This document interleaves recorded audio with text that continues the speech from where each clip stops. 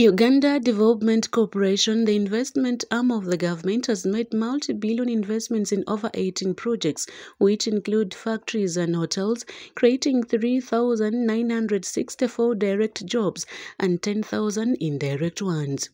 This was revealed by the Chief Executive Officer, Dr. Patrick Birungi, during a strategic engagement yesterday with a team of Vision Group managers led by the CEO, Don Wanyama. I think there's a lot that government is doing.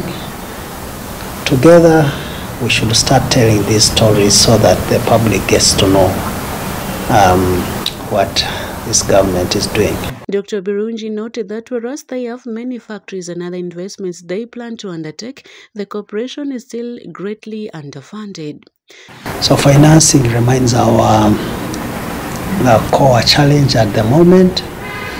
Um, but because we're also largely dependent on government financing, um, it comes as and of when it is comes, it's available now that leads into delay into implementation and so on.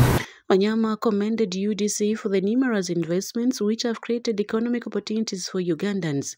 He said that with increased support to UDC to establish various factories and other investments, the entity will help the country in addressing the high rate of unemployment. Till the most dominant media house in the country, we control about 60% of the 24 million or so people consume the media in this country.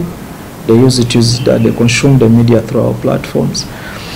So that means that if you have to get out a message to the bulk of Ugandans and be able to influence thought process and have an impact, you can't avoid us. Some of the UDC investments include Soroti Fruits Limited, Mobale Growers Tea Factory, Mpanga Growers Tea Factory, Kayonza Growers Tea Factory, Chigezi Highland Tea Limited, and Atiak Sugar Factory, among others.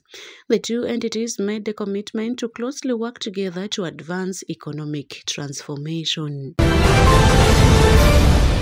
The judiciary has resolved 57,735 cases in a period of three months. These statistics were contained in the Judiciary Quarter 4 Performance Report released yesterday. The report indicates that 30,480 of the cleared cases are criminal matters, while 16,022 are civil. The judiciary is battling 219,573 caseloads. As a result of the settlement week, the Court of Appeal disposed of 49 case files. 49 criminal appeals before the Court of Appeal were disposed of civil in nature. Uh, the Land Division completed 11 case files.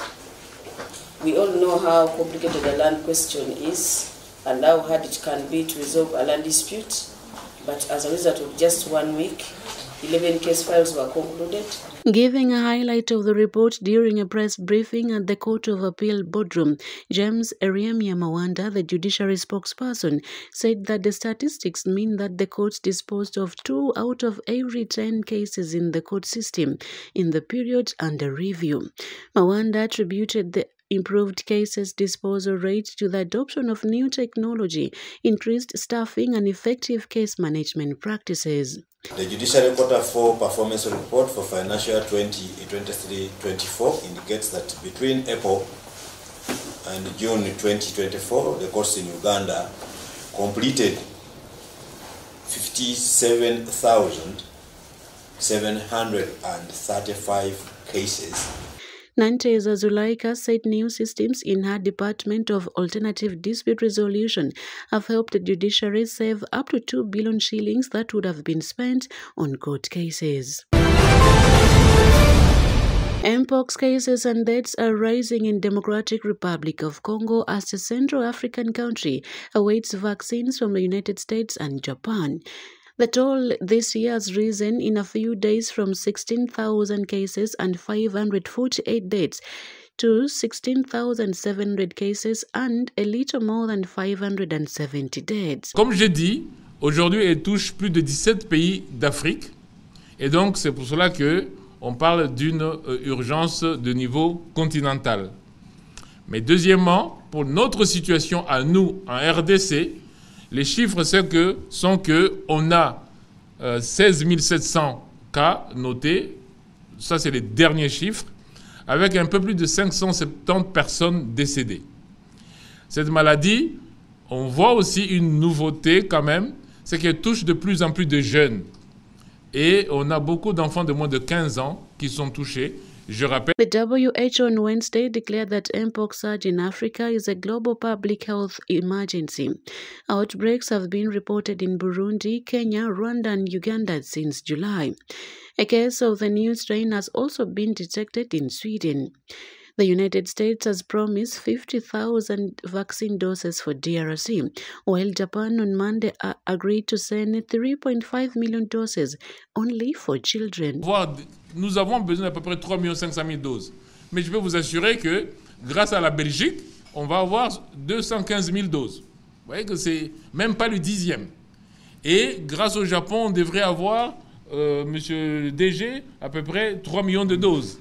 Et les États-Unis sont encore en train de s'étater pour dire combien on envoie. DRC plans to vaccinate 4 million people, including 3.5 million children.